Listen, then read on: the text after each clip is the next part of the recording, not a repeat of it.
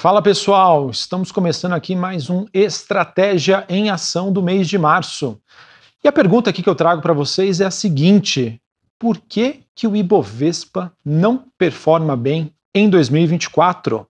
A gente está acompanhando aí bolsas americanas nas máximas históricas, europeias, Bitcoin nas alturas e o que acontece com o Ibovespa? Por que, que a gente ficou tão para trás neste ano em que nós tínhamos, sim, não somente a gente, mas o mercado como um todo, tinha uma expectativa de um ano bastante positivo para as ações brasileiras? E é isso que a gente vai responder aqui no nosso programa. Mas antes da gente aqui passar as principais informações para vocês, queria pedir para vocês já deixarem o seu gostei nesse vídeo, se inscrever aqui no canal da Genial Investimentos e se vocês puderem, deixem um comentário aqui é, no campo, comentando aí se vocês gostaram ou não do nosso conteúdo, sugestões aí de melhorias, críticas, tudo será bem-vindo aí para a gente melhorar cada vez mais a qualidade aqui do nosso conteúdo. Vou pedir para a produção então colocar aqui na tela. Pessoal, a gente segue então acompanhando o Ibovespa, ele que ainda está negociando aí com um preço, uma métrica preço-lucro projetada de 8 vezes, 27% de desconto abaixo da sua média histórica. Quando a gente olha o Ibovespa excluindo Petrobras e Vale, o desconto continua de 17% em relação à sua média. Empresas ligadas à economia doméstica, negociadas a 9,7 vezes preço-lucro, projetado para os próximos 12 meses, 19% de desconto. Empresas exportadoras, 6,9 vezes preço-lucro, 32% de desconto em, em, relação à sua média, e as small caps continuam ali é, negociando numa faixa de desconto mais atrativa dentro aí das classes de ativos que a gente acompanha aqui. O índice de smalls negocia aí a 33% de desconto em relação à sua média. E o índice de empresas de média e grande capitalização, 28% de desconto. É aquilo, pessoal, desde que a gente começou aqui o nosso programa, é, vejam que esses descontos continuam. Ou seja, Bolsa Brasileira, no geral, continua atrativa e fica aquela indicação. Se o preço está bom, por que, que ninguém quer comprar? e algo que é, eu espero aí responder aí para vocês durante este programa.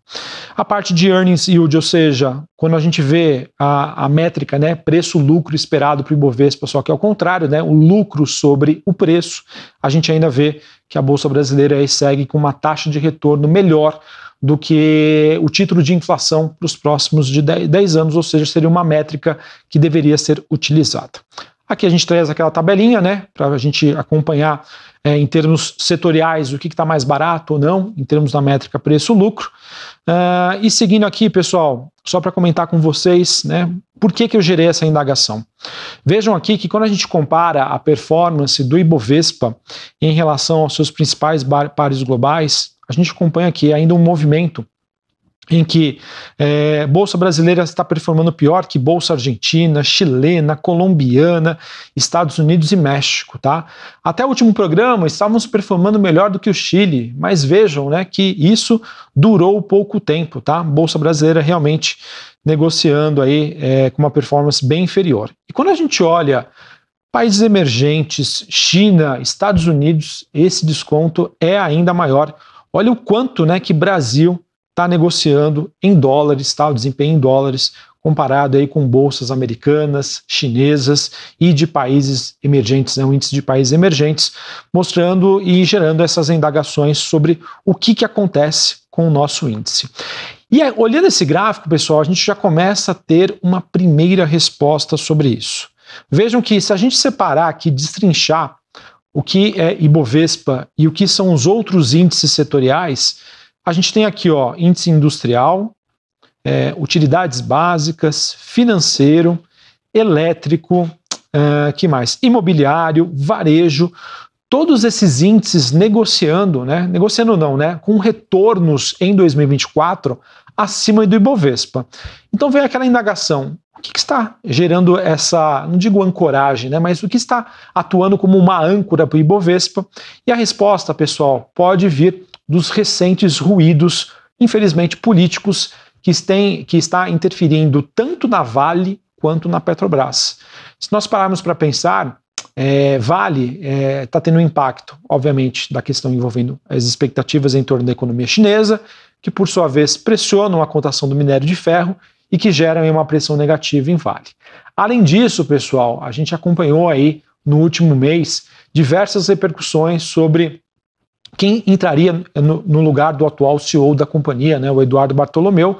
É, se especulou na época né, que Guido Mantega poderia é, assumir o cargo, o que gerou uma pressão bastante negativa. E o que nós temos até hoje é o seguinte, pessoal: o Eduardo Bartolomeu continua na companhia até o final do ano e ele vai participar do processo de recondução para indicar uma pessoa para 2025. E a dúvida ainda existe, pessoal. Não se sabe quem vai liderar a principal mineradora né, do Brasil, do mundo, a partir de 2025. E quando você combina isso com a renúncia né, de, um, é, de um participante aí do, do conselho da companhia, dizendo que questões políticas estão interferindo na companhia, isso acaba gerando toda essa preocupação.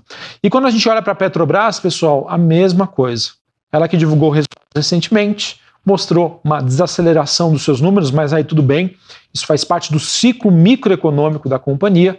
Mas quando você olha canetadas do governo, principalmente sobre a questão envolvendo dividendos extraordinários, que surpreendeu para baixo em muito mercado, você encontra essa justificativa do que é, porque a bolsa brasileira está com uma performance pior do que os seus principais pares globais. Petrobras e Vale, pessoal, é um terço do IBOV.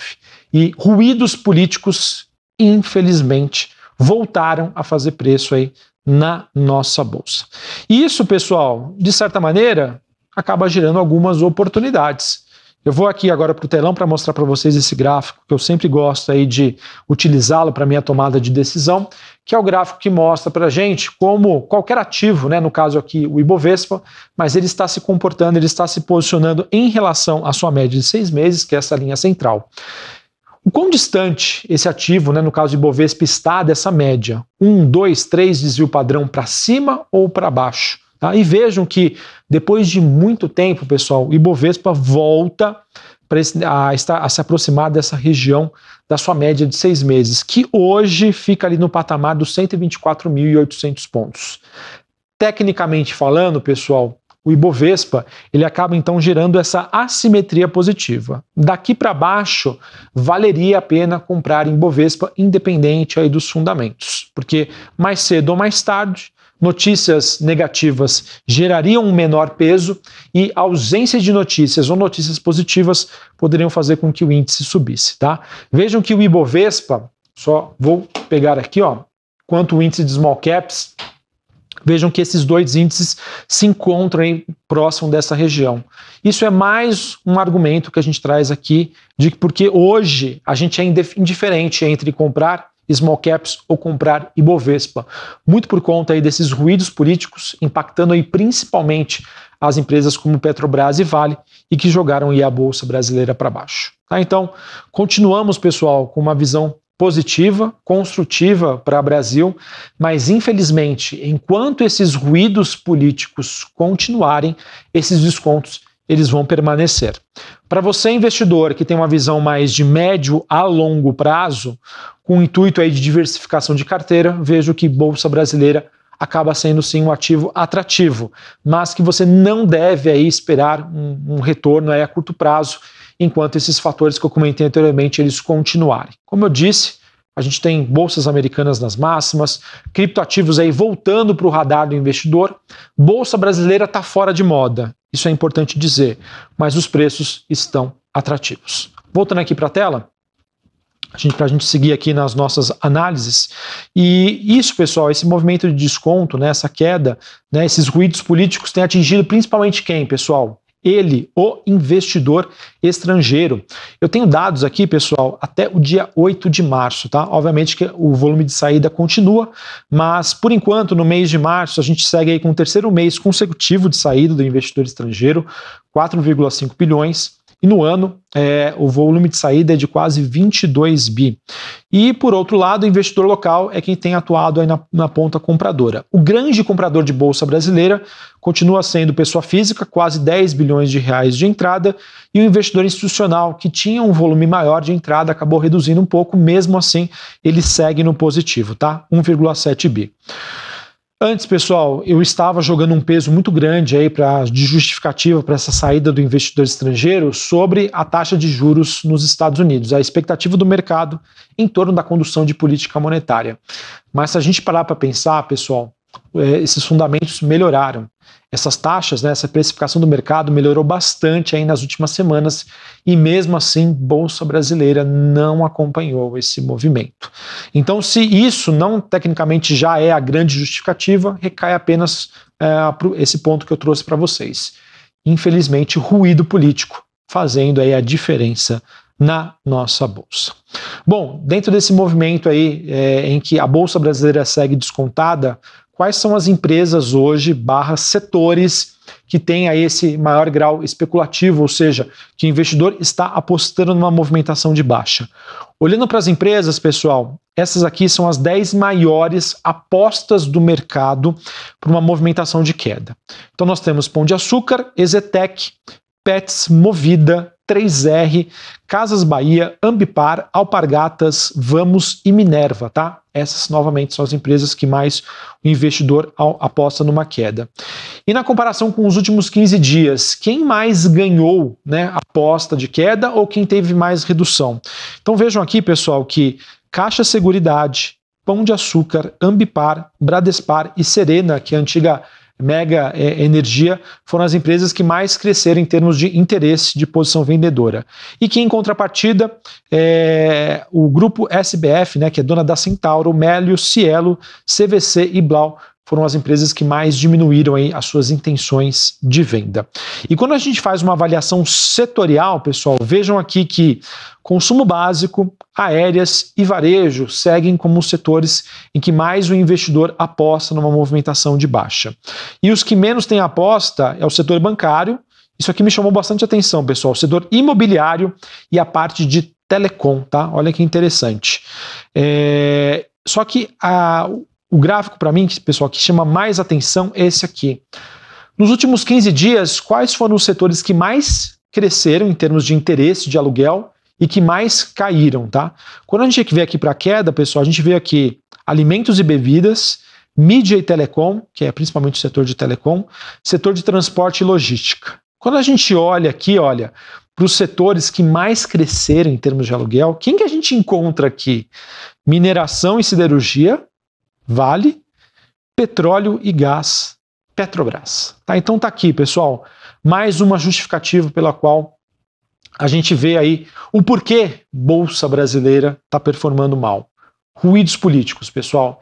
E esses ruídos políticos estão fazendo com que a gente acompanhe um movimento de saída do investidor estrangeiro aqui da Bolsa Brasileira, enquanto o local está apostando o quê? Numa movimentação de baixa em relação a esses setores.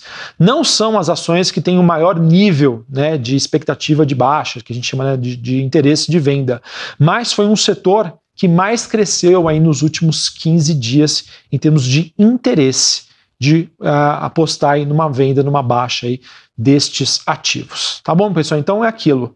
O mundo está voando, bolsa brasileira de lado, e a justificativa para isso não são os nossos fundamentos não é a questão micro brasileira envolvendo os resultados corporativos, as expectativas de crescimento. É Petrobras e Vale e os ruídos políticos atuando aí como essa âncora né, para os ativos brasileiros. Vilegas, a gente pode encontrar uma oportunidade nesse sentido? Sim, tá? É, eu defendo com vocês já há bastante tempo em que eu tenho uma visão mais positiva aí para as empresas de menor capitalização do que para a bolsa como um todo, né, como o Ibovespa. Hoje, em termos de assimetria, a gente, eu posso ser indiferente em relação a essas duas, esses dois tipos de empresa, né, esses dois índices. Mas as minhas perspectivas continuam ainda positivas para acreditar aí no melhor desempenho das ações ligadas à economia doméstica do que as exportadoras, exportadoras Petrobras e Vale. Beleza? Um ponto também que me chama a atenção, pessoal, é olhando para as expectativas do mercado em torno aí de expectativa de lucro por ação. Veja o quanto que depois dessa, uh, dessa mudança aí uh, que a gente vem acompanhando, vejam que essas expectativas elas continuam olhando principalmente para as exportadoras, aumentou em termos de expectativa lucro, não para agora, mas para 2026, tá? Ou seja, os resultados que a gente vem acompanhando aí, olhando para 2024, seguem por enquanto inalterados, olhando aí mesmo depois da temporada de balanços, mas chamou a atenção que daqui a dois anos, não sei porquê, as expectativas aí de lucro para as exportadoras seguem melhores, tá? Bom, pessoal, a gente segue com o nosso target para o Ibovespa em torno de 151 mil pontos. Claro que esse peso de Petrobras e Vale é um peso significativo, mas por enquanto aí seguimos otimistas, tá? Acredito aí que esse peso, é, não que a gente chegue no 151 mil, mas tecnicamente falando, há espaço para a gente ficar aqui entre a média, que é 136.500, e os 151 mil pontos. Vejo com tranquilidade aí esse espaço para que a Bolsa Brasileira ainda evolua bastante, mas isso, pessoal, vai depender o quê? de uma mescla entre resultados corporativos início da queda de juros nos Estados Unidos. Enquanto isso não acontecer, se efetivar, Bolsa Brasileira vai ficar de lado e, infelizmente, a gente fica na torcida aqui para que esses ruídos políticos ou se esvaziem ou sejam menores para a gente voltar aí a sorrir assim como o mundo está sorrindo. Beleza?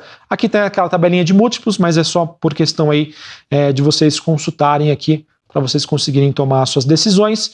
Genoma pessoal também atualizado aí no site do Genial Analisa. A gente faz aí uma, um modelo de recomendação de precificação de ativos, um modelo quantitativo, tá aqui ele, é só vocês virem aqui na tabelinha de recomendação, digitar aqui, por exemplo, qualquer empresa, Itaú, né? E a gente coloca aí qual é a nossa recomendação e potencial aí de valorização para esses ativos. Lembrando que é um modelo que avalia número, números, ciclo microeconômicos, expectativa de resultados das empresas. É um número, é um número não, é um modelo de recomendação totalmente quantitativo. Beleza? Então é isso, pessoal. A resposta que a gente chega aí sobre por que, que o Ibovespa está performando tão mal, risco político impactando aí empresas que têm um terço né, de, de participação no principal índice da Bolsa Brasileira. Um abraço, espero que vocês tenham gostado aqui do conteúdo. Novamente, deixe o seu gostei, se inscreva aqui no canal e deixe um comentário aí sobre o que você está achando aí do Estratégia em Ação. Até a próxima, pessoal!